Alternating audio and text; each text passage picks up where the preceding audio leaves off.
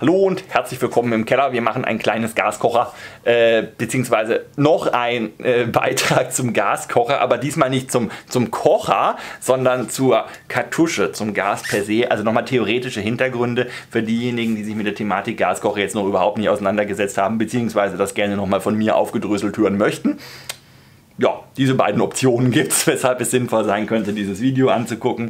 Äh, grundsätzlich fange ich mal am Anfang an. Was ist denn hier eigentlich drin? Mit was kochen wir denn, wenn wir auf Gas kochen? Ja, mit Alkanen. Und was ist ein Alkan? Das ist der einfachste Kohlenwasserstoff.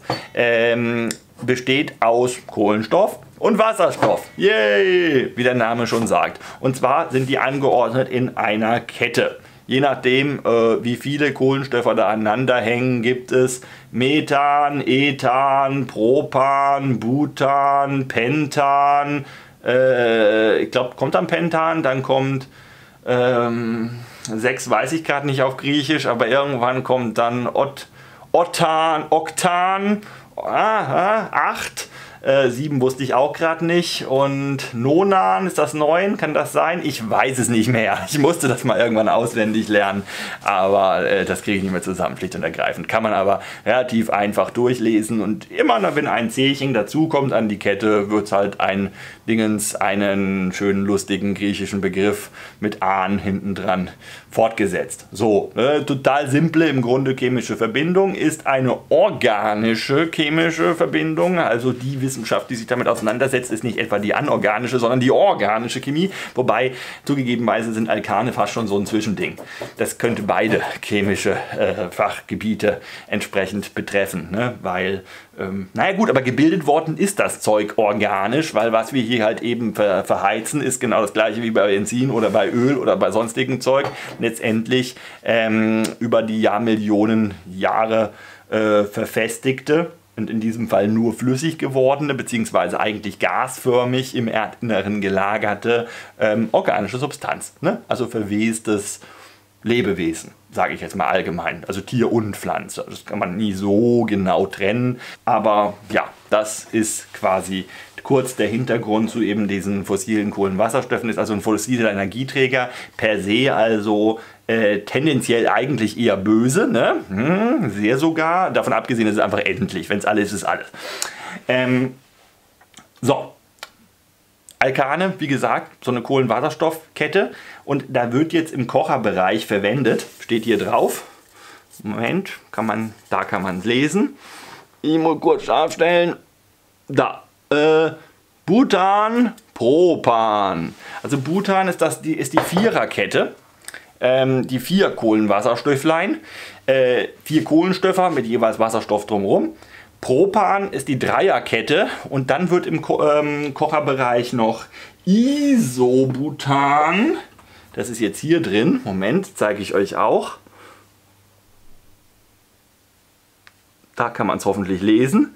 Ähm, verwendet. So, und diese drei Alkane, sind alles Alkane, spielen hier halt jetzt eben entsprechend eine Rolle. Was ist jetzt Isobutan? Warum steht da Iso davor? Ist das irgendwie toller als die anderen? Ja, aber deswegen heißt es nicht Iso, um zu demonstrieren, dass es toller ist als die anderen, beziehungsweise toll kommt drauf an, was man damit machen möchte. äh, kann auch durchaus ganz untoll sein. Äh, das ist eine Viererkette wie das Butan, nur ist sie verzweigt. Sie hat eine einfache äh, entsprechende Verzweigung, äh, nämlich es ist eine Dreierkette und in der Mitte am, am, am, mittleren von den dreien hängt noch ein anderes außen dran. Wir haben also quasi äh, den, den T-förmigen Tetris-Block. Wer mit Isobutan anfangen kann, der denke bitte an einen T-förmigen Tetris-Block aus Tetris. Ne? Düm, düm, düm, Entschuldigung. Gut, das ist so die Grundlage von dem Zeug, was da drin sein kann. Jetzt ist es so, bei den schönen äh, entsprechenden Alka äh, Alkanen, Je kürzer das Ding, desto niedriger der Siedepunkt. Soll heißen Methan, das kann schon gefroren vorliegen, aber da muss es schon wirklich verdammt kalt drumherum sein, beziehungsweise es generell einfach sonst von äh, Eis umschlossen sein als Gas, damit das halt eben dann im Boden bleibt. Wenn es zum Beispiel im Boden drin ist. Ist der Fall bei Permafrostböden in der Arktis, gibt es das überall, da steckt überall schön Methan im Boden und das bleibt da deswegen drin, nicht weil es da so, so kalt ist, dass Methan nicht verdampfen würde, sondern weil halt so viel anderes gefrorenes Zeug, vorzugsweise Wasser, äh, sich eben drumherum befindet, dass es halt nicht nach oben strömen kann. Diese Eisschicht im Boden sorgt einfach dafür, dass es nicht nach außen kommt, das Methan. Wenn der Boden aber weit genug auftaut, dann ist das Eis halt weg, das schützt und in dem Moment dampft das Methan dann auch aus und das geht dann auch relativ fix potenziell, wenn da halt eben so eine Methanblase ähm, das Eis drumherum weggetaut ist. Aber im Grunde hat Methan irgendeinen Siedepunkt, der liegt wirklich weit, weit, weit unter Null. Da müsste schon aller, aller, aller, aller tiefster Winter sein, dass das Zeug quasi flüssig vorliegt. Und ich glaube, selbst, selbst das reicht nicht unbedingt aus. Ne? Weiß ich nicht auswendig, aber kann ich mir nicht vorstellen. Gut, dann haben wir Propan. Propan, äh, eigentlich haben wir noch Ethan. Äh, Ethan wäre zwei Kohlenstoffdinger, das wird aber nicht verwendet. Genauso wenig wie Methan in solchen, in solchen Kochern hier äh, äh, Kartuschen entsprechend verwendet wird. Eben, weil Ethan hat immer noch einen unglaublich niedrigen Siedepunkt. Und das Problem ist jetzt folgendes. Mit diesen Gasen, die einen furchtbar niedrigen Siedepunkt haben, also im Bereich minus, sage ich jetzt einfach mal, irgendeine Zahl, minus 100, ne? minus 100 Grad Celsius, äh, die kriegst du nur in riesengroßen, saufesten Druckbehältern unter den notwendigen Druck verpackt, dass sie aufgrund des Drucks auch bei Zimmertemperatur immer noch in ihrer in der flüssigen Form bleiben, ne? so dass man sie also quasi in solche Kartuschen einfüllen könnte. Warum muss man denn überhaupt das Zeug in flüssiger Form in die Kartuschen füllen? Naja, ganz einfach, wenn es gasförmig wäre, wären die Kartuschen so groß. Da müssen wir einen Gastank für wirklich Gas in gasförmiger Form mitnehmen und das wäre einfach vom Packmaß jenseits von Gut und Böse. Als Flüssigkeit wiederum ähm, kriegt man sie halt 220 Gramm ähm, Masse. Gramm in diesem Fall nicht Gewicht, sondern Masse. Äh, ist immer Masse eigentlich, aber wird oft synonym mit Gewicht verwendet. Kriegt man dann schon relativ viel in so ein Kartüschlein eben entsprechend rein. Voraussetzung ist halt, dass dann Mordsdruck draufsteht, damit das halt eben flüssig bleibt. Deswegen haben diese Kartuschen auch diesen lustigen eingewöllten Boden, weil der erzeugt nach innen Druck, wenn er nach innen eingewellt ist. Deswegen sind die generell aus einem sehr, sehr festen Material. Ja, und das ist quasi die Limitierung. Deswegen kann man nicht jedes beliebige Alkan in solche Kartuschen abfüllen. Ähm, und die ganz langkettigen Alkane wiederum, also so irgendein Oktan oder sowas, äh, das achtkettige, die sind dann wiederum vom, äh, die liegen flüssig vor automatisch bei Raumtemperatur, weil deren Siedepunkt ähm, ist dann irgendwann bei, weiß ich nicht, 40 Grad, 50 Grad, einfach um irgendeine Zahl zu nennen, ich weiß das nicht auswendig. Äh, das heißt, da müsste man quasi erst seinen Kocher, seine Kartusche heiß machen, äh, damit man überhaupt äh, sein entsprechendes ähm, Erd fossiler Brennstoffgebräu zum Vergasen bringt.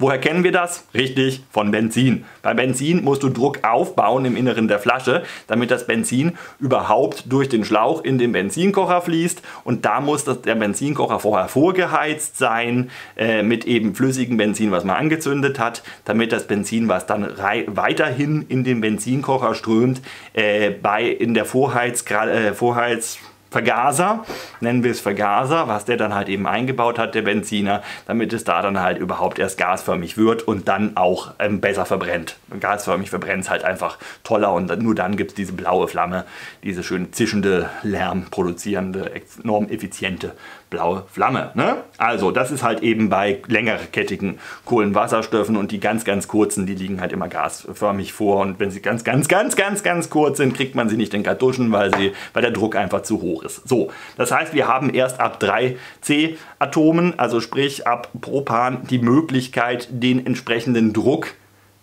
in Form einer Gaskartusche aufzubringen, um die überhaupt verpacken zu können. Aber Propan ist immer noch zu heftig. Wir können aber mischen. Die Alkane untereinander sind mischbar. Wir können also das klassische Butan, die Viererkette, die geht relativ einfach in Kartuschen zu verpacken. Da können wir noch einen gewissen Anteil Propan dazu mischen. Jetzt im Fall von diesen Camping Guts Kartuschen ist auch ein bisschen Propan drin. Ich habe es nicht herausfinden können, wie viel genau, aber gerüchteweise soll der Propananteil bei irgendwas um die 10% liegen. Das ist deswegen ganz interessant und äh, macht die Kartusche deutlich hochwertiger, wenn zumindest ein bisschen Propan drin ist, weil, Siedepunkt nochmal, Butan, also der für unsere Zwecke, wenn wir im Winter mit Gas kochen wollen, äh, schlechteste Bestandteil des Gasgemischs in Gaskartuschen, der hat einen Siegelpunkt von roundabout minus 1. Soll heißen, ist es nicht kälter, ist es kälter als minus 1 und man macht die Gaskartusche auf, damit das Gas hinausströmt und wir es entzünden können, passiert nichts, weil das bleibt dann flüssig. Ne? Das heißt, da bildet sich dann überhaupt kein Druck, dass das Zeug nach außen strömt wenn reines Butan drin ist. Jetzt ist aber selbst in den Campinggaskartuschen nicht nur reines Butan drin, sondern auch wenigstens ein bisschen Propan. Und wenn das Propan dann da rausdampft, dann nimmt es sozusagen im Zuge seiner eigenen Rausdampfung noch ein bisschen Butan mit. Das wird dann quasi mit rausgetrieben. Als Treibstoff dient sozusagen das But äh, Propan für das Butan. Das geht eine ganze Weile gut. Ähm, aber spätestens, wenn der Propananteil und der hier drin, wie gesagt, gerüchteweise 10% beträgt, äh, rausverdampft ist, kannst du die komplette Kartusche so lange irgendwo hinstellen, bis der Frühling kommt, sozusagen. Und wenn der Frühling kommt, oder du bist in der Hütte oder irgendwie sowas, oder es ist halt doch mal nicht so kalt im Winter, ähm, dann, dann kann man auch den Butananteil problemlos verheizen. Ne? Überhaupt keine Schwierigkeit.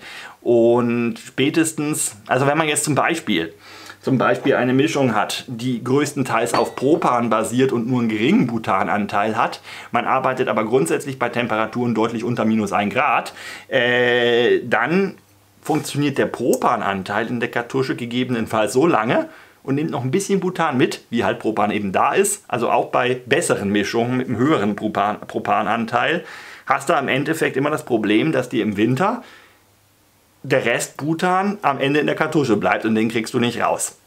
Es sei denn, Trick, drei, drei mögliche Tricks habe ich gehört, die man da anwenden kann.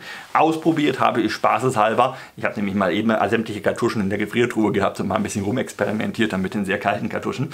Ähm, und habe ausprobiert das sogenannte Fußbad. Wir haben ja in jedem Fall hier noch Propan drin. Jetzt müssen wir wissen, Propan hat einen Siedepunkt von minus 27. Propan funktioniert also quasi immer, sofern wir zu einigermaßen vernünftigen Temperaturen noch draußen unterwegs sind. Wer eine Antarktis-Durchquerung machen möchte, der hat andere Sorgen. Aber davon gehen wir jetzt einfach mal nicht aus. Das heißt, der Propananteil funktioniert in jedem Fall. Soll heißen, wir nehmen jetzt angenommen eine frische Kartusche, muss ja nicht so eine große sein. Äh, und jetzt ist Winter und wir gehen raus und wir wollen eh nur eine Nacht draußen bleiben. Dann haben wir mit dem 10%, 15, 20% Propananteil, der hier drin ist, auf jeden Fall genügend Pulver erstmal, um uns ein bisschen Wasser ein bisschen heiß zu machen, in zum Beispiel irgendeiner Schüssel. Jetzt nehmen wir die Schüssel, stellen die Schüssel auf den Boden und stellen unsere Gaskartusche rein. Das heißt, unsere Gastemperatur, bei der unser, also unser Flüssig, unsere Flüssigkeitstemperatur steigt dann definitiv, auch wenn es minus 8 Grad von mir aus draußen hat, innerhalb der Kartusche, da wir sie in heißes Wasser stellen, relativ schnell auf irgendwas über 0, äh, über, ja, auch über 0 Grad vermutlich, eben sehr schnell drüber. Und in dem Moment, wo die Temperatur dann erreicht ist, vergast auch wieder der Butananteil und wir können fröhlich kochen. Das funktioniert aber nur so lange, so mit lang, solange zumindest zum Aufheizen ein bisschen Propan noch in der Kartusche drin ist. So, alternativ, was ich allerdings für gefährlich halte und deswegen nicht ausprobiert habe und auch nie ausprobieren werde, ist Teelicht drunter stellen. Da bräuchte man halt irgendeinen Ständer, im Zweifelsfall drei Steine oder auch vier Steine, wer ganz fancy sein möchte. äh, und stellt da ein Teelicht drunter und dann heizt, kann man damit die Kartusche auch aufheizen und verhindern, dass die halt eben die Kartuschentemperatur zu sehr abfällt. Und dann gibt es noch die Option, Kartusche grundsätzlich mit in den Schlafsack nehmen und mit Kartusche kuscheln. Ähm, sicherlich hilfreich. Das Dumme ist halt nur bei Verwendung von der Kartusche und je nachdem, wie lange man halt dann eben kochen möchte, ist die irgendwann dann trotzdem abgekühlt.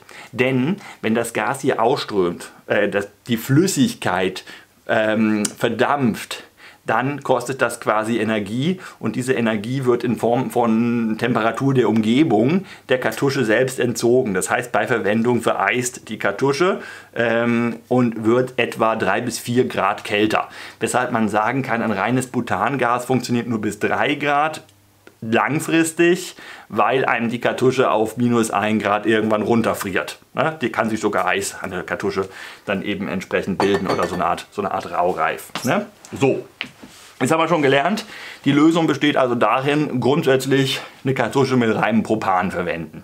Das funktioniert aber wohl scheinbar nicht. Jedenfalls habe ich noch nie gesehen, dass es irgendwo reine Propan-Kartuschen für den Outdoor-Bereich gibt, weil Propan äh, schon als reines Gas zu heftig ist vom Druck her und man eine sehr, sehr dicke Kartusche bräuchte, die sich dann nicht mehr lohnt mitzuschleppen. Da wäre die Verpackung fürs Gas also quasi so schwer, dass sich Gas mitschleppen überhaupt nicht mehr lohnen würde. Alternative. Tada! Oder sagen wir erstmal, wie man es nicht machen kann. Wie man es nicht machen sollte, ist meiner Meinung nach, und vielen herzlichen Dank, äh, weil die habe ich geschenkt bekommen und das ist eine toll, tolle Gelegenheit, eben sich mit der Thematik auseinanderzusetzen. Deswegen hilft mir dieses Geschenk außerordentlich. Auch wenn ich jetzt nicht behaupten kann, kauft euch Coleman Extreme 2.0 Gas. Kann ich nicht behaupten, kann ich eher sagen, lasst die Finger davon, weil die hier eben dieses sehr zweifelhafte folgende Werbeversprechen drauf haben. Ich habe das in einem anderen Video schon mal gesehen, äh, erwähnt, aber äh, ich möchte das hier gerne als Standalone-Video machen, deswegen erzähle ich es nochmal. Ne? Bis minus 27. Und das stimmt dahingehend ja irgendwo, dass minus 27 halt eben der Siedepunkt von Propan ist. Das könnten im Grunde die hier auch draufschreiben, bis minus 27, weil es gibt noch ein Kleingedrucktes und in dem Kleingedruckten steht, äh, das ist Französisch, das kann ich nicht lesen, theoretisch kalkuliert, ich übersetze gleich, äh, also äh, von Englisch, ähm, basiert auf einer vollen Kartusche. Ja, also auf gut Deutsch davon noch der volle Propananteil drin ist. Dann geht es bis minus 27. Aber ich habe keine Ahnung, wie viel Propan da drin ist. Ähm, bestimmt, also das möchte ich jetzt schon unterstellen. Es steht nämlich nirgendwo drauf, äh, wie viel da genau, wobei man hier so ein Zettelchen, so ein Aufkleberchen abziehen kann, um mehr Informationen zu kriegen. Aha, da steht nochmal das gleiche in anderen Sprachen, toll. Äh, äh, ne, hier, also unter dem Etikett ist nochmal ein anderes Etikett, aber da steht auch nicht die genaue Zusammensetzung, oder? Nein. Nein, tut es nicht. Und das werden sie einem wahrscheinlich auch nicht großartig verraten wollen. Ne? So, äh, also genau das gleiche Problem wie quasi hier, sobald der Propananteil äh, verbraucht ist, kannst du den Rest der Kartusche warten, bis Frühling wird. Hm? Man darf also sehr bezweifeln, ob dieses Zeug sein Geld wert ist. Allerdings muss man jetzt auch wieder sagen, keine Ahnung, wie hoch der Propananteil da drin ist. Propan hat ja einen höheren Heizwert als Butan. Soll heißen, wenn hier ein höherer Propananteil drin ist als im Camping Guts, dann äh, haben wir im Endeffekt mehr äh, heißes Wasser, wenn man es in heißes Wasser übertragen möchte, pro Gramm in dieser Kartusche als heißes Wasserprogramm in dieser Kartusche. Also so gesehen schon irgendwo gerechtfertigt, dass das Zeug hier, äh, wie heißt's? Extreme Butan-Propan Blending Coleman, ja Extreme 2.0 heißt. Also Extreme, ja, man kann man sich hier streiten, wann Extreme anfängt. Es ist definitiv leistungsfähiger als Camping Guts, das ist es. Und es ist auch mehr Propan drin. Man hat also länger die Möglichkeit, auch bei sehr niedrigen Temperaturen damit zu kochen. Aber ich denke, man wird trotzdem mindestens die halbe Kartusche quasi im Endeffekt wegschmeißen können, äh, wenn man sie nicht bis zum Frühling mit sich herumtragen möchte oder an einen warmen Ort kommt. Ich bringe den Witz mit dem Frühling noch ein paar Mal, es tut mir leid. Gut, was ist die Alternative, mal abgesehen von den genannten Methoden, um die Kartusche einfach warm zu halten? Ähm, gibt es noch eine technische Lösung, die besteht darin, dass man einen Gaskocher nimmt, bei dem man nicht irgendwas oben drauf schraubt und zum, Verdamm äh, zum Austritt des Gases darauf angewiesen ist, dass das Gas aufgrund der höheren Umgebungstemperatur von alleine verdampft, sondern man nimmt äh, quasi einen Kocher, wo die Kartusche neben dem Kocher steht, das ist jetzt natürlich ein Spirituskocher, ne? Ähm, und man die Kartusche umdrehen kann. Weil in dem Moment, wo man die umdrehen kann, verhält sich quasi Flüssiggas genau wie Benzin, ist flüssig, heißt es fließt durch einen Schlauch in den Vergaser, den dann dafür geeignete Gaskocher eben auch wieder entsprechend haben und wird da drin erheizt und wird dann gasförmig und dann funktioniert es trotzdem. Und man kriegt im Übrigen auch die komplette Kartusche leer, auch den Butananteil, weil der ja auch durch den Schlauch eben entsprechend fließt. Naja, zumindest kriegt man sie fast leer, weil man anders als bei einer Benzinflasche hier keine Pumpe dran hat. Man hat also keine Möglichkeit, äh, mit Druck auch das letzte bisschen Brennstoff noch aus der Kartusche rauszupumpen. Das heißt, es wird immer noch ein kleiner Rest drin bleiben. Der Rest ist allerdings erheblich geringer als bei einem äh, obendrauf Schraubkocher. Ne? So, das wäre also die technische Gaskocher für den Winterlösung. Das gleiche Prinzip verwenden ja auch Omnifuel-Kocher. Äh, Omnifuel ist schon wieder Markenname. Mehrstoffkocher, ähm, die Gas, Benzin, Petroleum, Kerosin, Diesel äh, und Walöl verheizen können. Ne? Also das, das ist immer möglich, ne? definitiv, klar. Aber wenn man jetzt sagt, man möchte aber gerne einen Draufsetz-Gaskocher verwenden, weil die potenziell so schön leicht sein können. Ich hole den nicht her, den anderen, aber der liegt nämlich da drüben, der ist mindestens 5 Meter weit entfernt.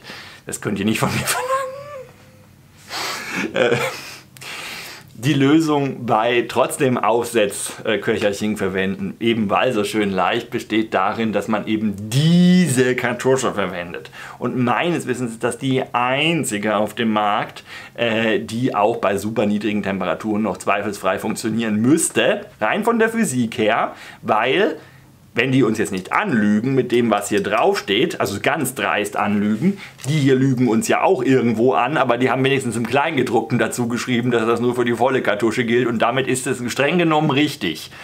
Äh, es wäre eine sehr dreiste Lüge zu behaupten, dass hier nur ein Propan-Isobutan-Mix drin ist, wenn da nicht doch wirklich nur ein Propan-Isobutan-Mix drin ist. Außerdem, habe ich mal schlau gemacht, die haben hier drin in der Kartusche, die ist nicht hohl, sondern da drin ist noch ein, ein, ein Gewebsel, sage ich jetzt mal, ähm, das einfach dafür sorgt, dass das Zeug bei der Tatsache, dass es eigentlich enormen Druck bedarf, um da drin flüssig zu bleiben, äh, auch mit weniger Druck auskommt. Also dieses Gewebsel funktioniert so, sozusagen so ein bisschen wie ein Katalysator in der Chemie, dass er halt einfach die... Ähm, Ausdehnungsfreudigkeit bzw. Verdampfungsfreudigkeit vom hier drin erhaltenen, enthaltenen Gas eben dahingehend reduziert, dass der Druck einigermaßen klein bleiben kann und deswegen eine Kartusche funktioniert. Der Haken bei diesem Zeug ist, die Kartusche ist trotzdem noch sau schwer verglichen mit sowas oder sowas. Weil gerade die wenig Propan-Butan-Kartuschen, auch die reinen Butan-Kartuschen, die gibt es nämlich auch, die kommen mit einer vergleichsweise geringen Wandstärke aus. Dieses Teil hier, das ist eine 230 Gramm Gas drin, Kartusche. Und die Kartusche selber, die wiegt bei meiner nicht sehr genauen Waage, die ich zwangsläufig jetzt dafür nehmen musste, etwa 180 bis 200 Gramm. Irgendwo, wo, irgendwo da dazwischen. Äh, die meisten für, für, für normale Gasmischungen äh, verwendeten 230 Gramm Kartuschen wiegen leer etwa 130 Gramm. 120, 130, vielleicht auch mal irgendwie aus 140. Dieses Ding ist halt nochmal 50 Gramm schwerer. Wen das jetzt nicht stört, herzlichen Glückwunsch, du hast dein Gas für den Winter gefunden, weil Propan minus 27 Grad Verdampfungstemperatur, Isobutan minus 100, äh, keine Ahnung, oder minus 76 oder was weiß ich, aber jedenfalls jenseits von Gut und Böse. Also der Isobutananteil, du wirst selbst in der Antarktis keine Temperaturen finden, dass dir nicht der Isobutananteil hier rausdampft. Also rein physikalisch gesehen. Und das verwendete Zeug, was hier drin ist, soll ja zusätzlich auch nochmal dazu dienen, dass man die Kartusche dann auch wirklich irgendwie leer bekommt. Ne? Was kein Problem sein sollte, weil wenn nur Propan und Isobutan drin sind. Deswegen, das ist die Lösung im Grunde. Ist vergleichsweise teuer. Was habe ich gezahlt? 8 Euro für dieses Kartüschlein. Ähm, verglichen mit Spiritus ist das abartig ähm, von den Kosten. Ähm, verglichen mit Benzin ist es immer noch, äh, naja gut, was kostet ein Liter Benzin, muss ich auch nicht sagen. Wisst ihr selber, jetzt ein Liter Reinbenzin, da kann man schon 4 Euro für ausgeben. Äh, man kann teilweise auch 5 Euro für ausgeben, wenn man jetzt so ganz Tolles haben möchte, aber dann ist auch irgendwann Schluss. Und da reden wir von einem Liter. Ein Liter hat etwa 750 Gramm. Das hier sind 230 und das kostet 8 Euro. Also ne, rein finanziell kann sich jeder selber ausrechnen ob er das dann eben auf Dauer so bezahlen möchte. Andererseits, wenn man das jetzt hier wirklich nur für die Wintertouren verwendet, für die es gedacht ist, äh, da würde ich jetzt sagen, scheiß drauf. Also von meiner persönlichen, von meinem persönlichen Empfinden her. Gut, das also die kleine Gaskartuschenkunde. Ich denke, damit haben wir jetzt wirklich das Thema Gaskartusche ähm, erschöpfend geklärt. Worauf ich jetzt gar nicht eingegangen bin, weil das wisst ihr von woanders, das wird woanders toll erklärt, ist, dass es Schraubkartuschen gibt, Stechkartuschen, äh, Ventilkartuschen und so weiter. Es gibt aber für fast alles noch irgendwie in irgendeiner Form Adapter. Also da müsst ihr euch selber schlau machen. Mir ging es jetzt eher mehr um die Physik. Allein schon deswegen, weil ich kein großer Physiker bin und jetzt mal endlich eine physikalische Sache erklärt habe. Und deswegen fühle ich mich jetzt ganz toll äh, und würde sagen, gehe jetzt ins Bett oder sowas. Aber erstens ist es noch zu früh und zweitens will ich noch ein anderes Video drehen. Aber dafür hocke ich mich woanders hin, damit das keiner merkt. Haha, macht's gut.